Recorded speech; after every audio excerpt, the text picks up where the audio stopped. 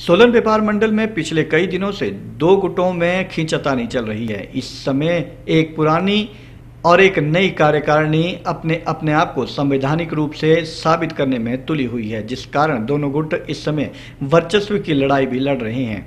अब इस जंग में सोलन शहरी कांग्रेस भी कूद पड़ी है। शहरी कांग्रेस के अध्यक्ष अंकुर सूद ने कहा कि वे खुद एक व्यापारी हैं और उन्हें ये समझ नहीं आ रहा है कि दोनों में से कौन असली है और कौन नकली। इसलिए जिला प्रशासन को चाहिए कि वे इस मामले में कड़ा संज्ञान ले और व्यापार मंडल के चुनाव करवाकर व्यापारियों की परेशानी को दूर करे। अंकुर सूद ने रोष प्रकट करते हुए कहा कि सोलन व्यापार मंडल के दो गुट बाज़ार में आकर व्यापारियों से समर्थन मांग रहे हैं।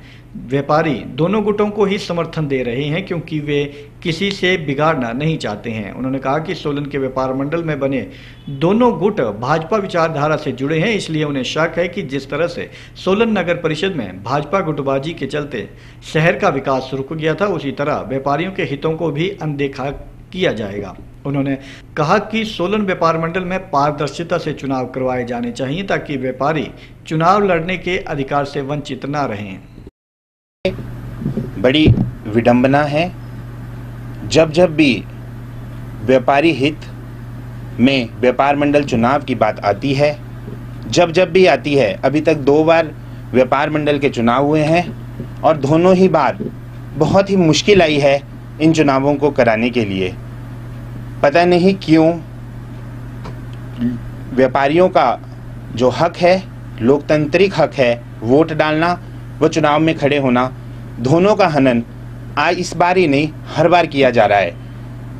मैं इस विषय पर काफ़ी दिनों से चुप था, परंतु अब जब व्यापारियों से बातचीत हो रही है तो हर व्यापारी परेशान है कि हम इस व्यापार मंडल के साथ जुड़ें या हम इस व्यापार मंडल के साथ जुड़ें। हमारा मानना ये है, एक आम व्यापारी होने के नाते मैं ये कहना चाहता हूँ कि हमारी किसी से कोई दुश्मनी नहीं है। एक लोकतांत्रिक अधिकार जो हमें दिया गया है, वोटिंग राइट जो हमें दिया गया है और एक आम व्यापारी को चुनाव में खड़े होने का जो अधिकार दिया गया है, उसका जो है हनन नहीं होना चाहिए। हर वर्ष और हर हर बार की भांति मेंबरशिप होनी चाहिए कम से कम इसी बहाने, लोगों का कहना है कि कम से कम इसी बहाने जो व्यापारी नेता है, एक बार तो कम से कम उनकी दुकान आता है और एक बार तो कम से कम उनकी समस्या सुनता है। परंतु अब कभी किसी होटल के अंदर कोई व्यापार मंडल बन जा रहा है तो दूसरा धड़ा किसी और होटल के अंदर कोई और मीटिंग कर रहा है। और आप सब समझते हैं कि इस समय कोरोना का समय है, जनरल हाउस को भी बुलाना मुश्किल है चुनाव अगर कराने हैं तो उसकी प्रक्रिया को, कोरोना को देखते हुए बदलना होगा।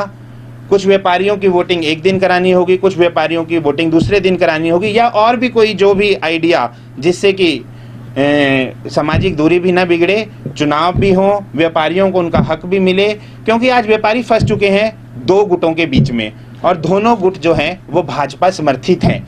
और एक गुट तो मैं कहूँगा, जो हमारे भाजपा समर्थित हैं, वो हमेशा ही जो हैं चुनावों का बहिष्कार करते हैं और रातों रात अपने आप ही नॉमिनेट हो जाते हैं। तो मुझे लगता है कि आम व्यापारी के रूप में मेरा ये मानना है कि चुनाव लड़ने का अधिकार हर आदमी को होना चाहिए, हर व्यापारी को होना चाहिए और वोट का लोकतांत्रिक अधिकार भी हर व्यापारी को यूज़ करना चाहिए। परंतु यहाँ पर भाजपा के नेता पहले इन्होंने नगर परिषद में अपनी गुटबाजी की वजह से, नगर परिषद का बुरा हाल कर दिया है, वहाँ पर कोई भी विकास कार्य नगर परिषद नहीं कर पाई है।